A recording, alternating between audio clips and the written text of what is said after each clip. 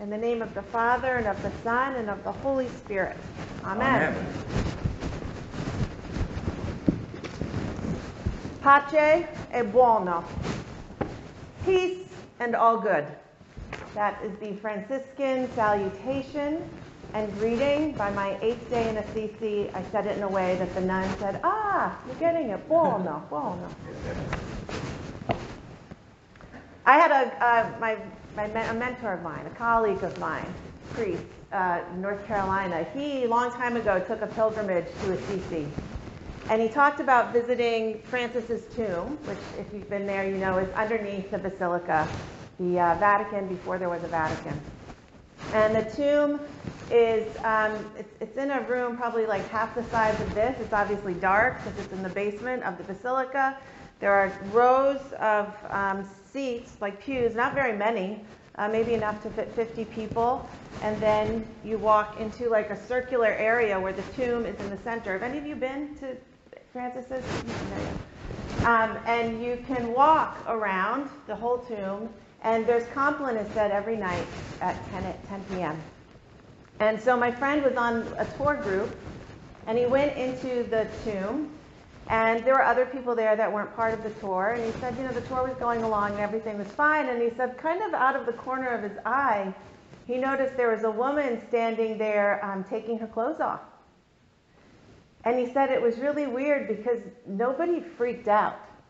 Like the woman was just disrobing and starting to take off her clothes, and they were everybody was getting a little more uncomfortable. And he said, and then kind of out of nowhere, a priest came up and put his cloak around her or coat, and then just kind of quietly ushered her out. And afterwards, Jonah said to the tour guide, uh, "What was up with that?" And the tour guide said, "I don't know. Stuff like that just happens here." And I think one of the reasons it just happens there is because the woman is um, embodying a little bit of the story of Francis. Francis, as I'm sure you know, um, was born into a very wealthy family. His dad was a fabric merchant, and they were upper middle class, which is uh, the fruits Francis enjoyed very much in his youth. He was known for his carousing and rebel rousing and, and spending his, his dad's hard earned fortune. And then there was a civil war that broke out in Umbria, in that region, and Francis went to be a soldier, and he was captured. And his dad was extorted, basically. His dad had to pay a huge sum of money for Francis to return home. And Francis had been injured, and so he coalesced for about two years. And in the course of that time, as is true in our Christian history with other soldiers, he discerned a new, the beginnings of a new calling in his life to serve God and the church. And one day he was praying in uh, San Damiano, which is still there. It eventually became the home of the poor, Frere, poor Clares, uh, St. Clare, who followed Francis. Um, and he was in San Damiano, which was kind of a, a mess at the time, when he heard the voice of God tell him to rebuild my church, which in that moment he took very literally. And what do you need in order to rebuild the church? Um, you need a capital campaign, or you just need some cash uh, right then and there. So what did Francis do? He went and stole two bolts of cloth from his dad's storehouse and sold it got a bag of gold and went right to the priest at San Damiano and says, Here, I want to rebuild this church. And the priest was like, No, no, no, no, no, no, no. He didn't want the wrath of uh, Pietro Bernardone, which is Francis's dad. He didn't want his wrath upon him. And he's like, This is not how we rebuild a church. And um, you need to go to the bishop because they were actually afraid of Francis's dad, you know, get, taking it out on them. So the priest brings Francis to uh, Bishop Guido, and you can still go to that courtyard in Assisi. And his father comes along with lots of people because they're going to basically do a trial of Francis. And um, the bishop explains to Francis God doesn't want your ill gotten gains. That's of no use to God. And he says, My son, have confidence in the Lord and act courageously, and God will help you and give you everything that is necessary. Not everything you need, but everything that is necessary.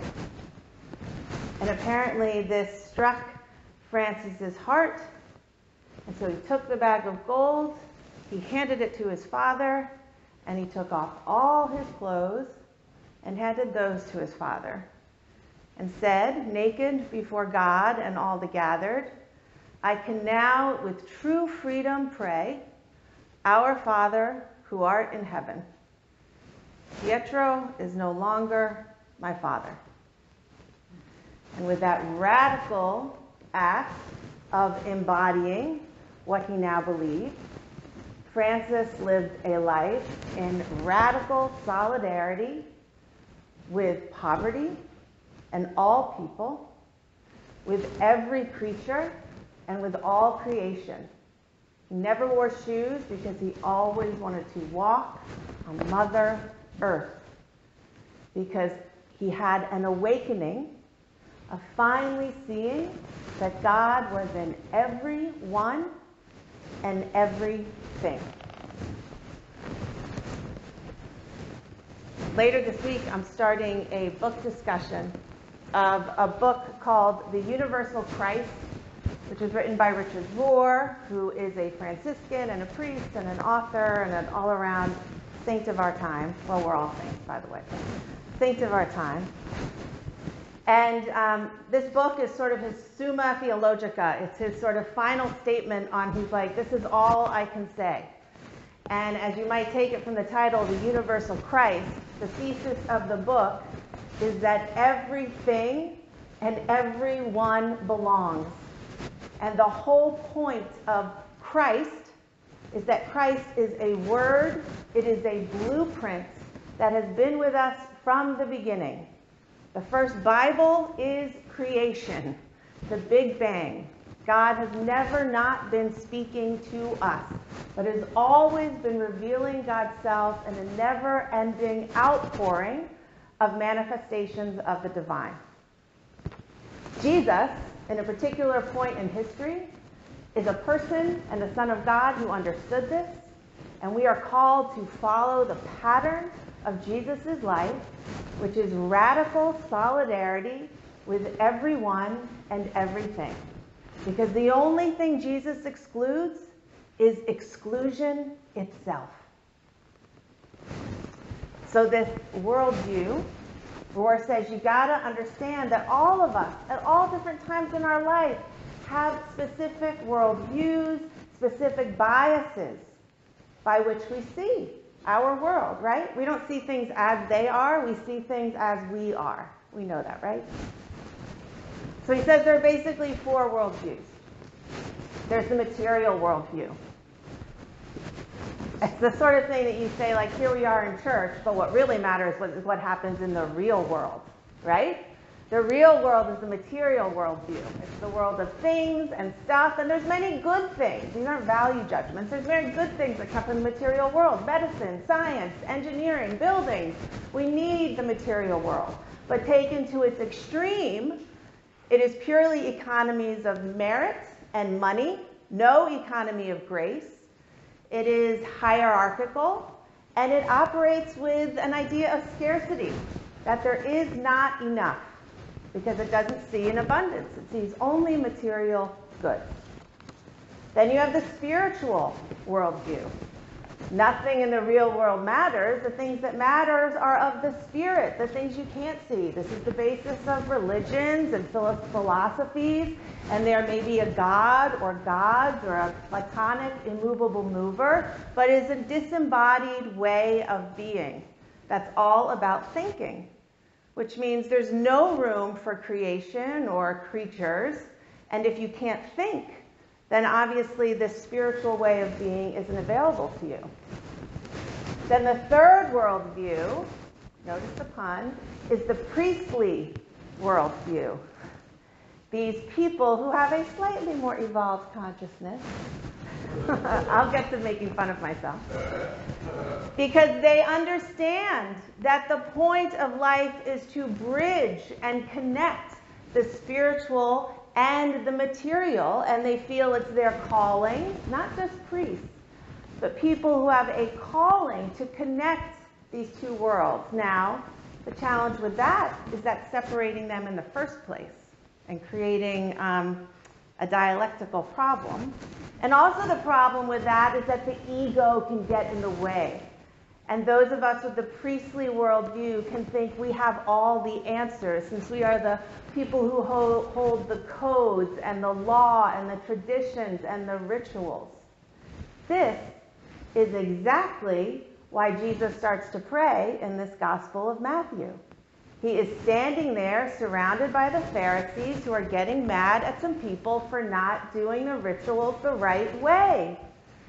And Jesus says, Oh my gosh, thank you, God, that you have revealed this stuff not to the wise and the intelligent, but to the infants. The infants have the ultimate understanding that God is in everything and everyone all the time.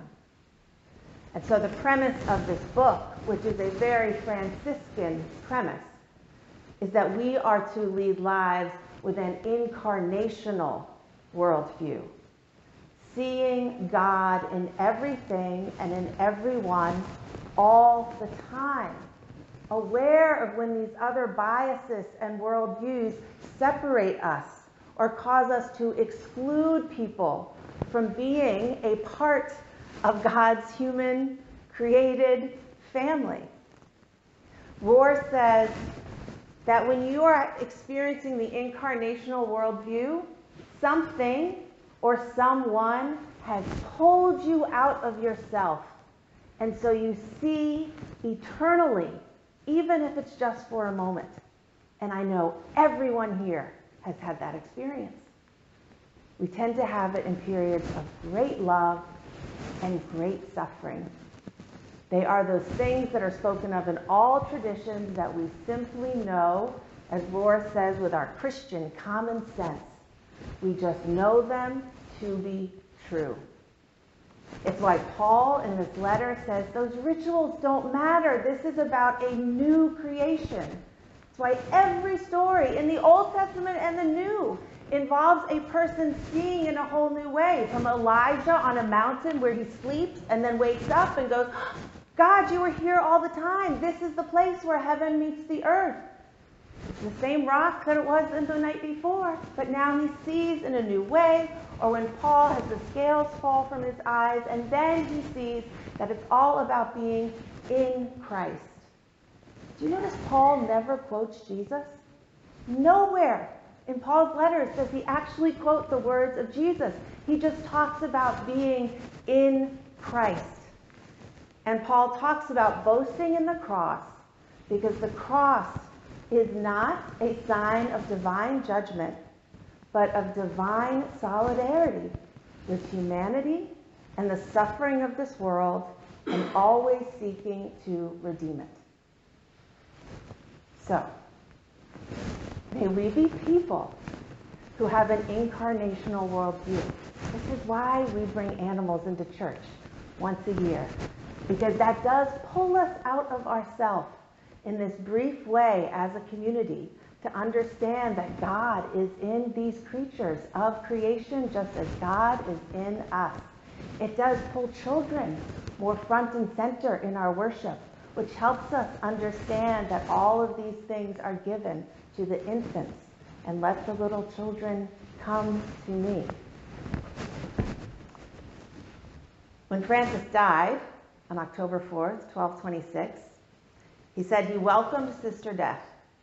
And he laid down on the floor of his hut and he looked up at his brothers and said, Christ has shown me what I ought to do. May Christ show you what you ought to do. Pace e buono. Amen.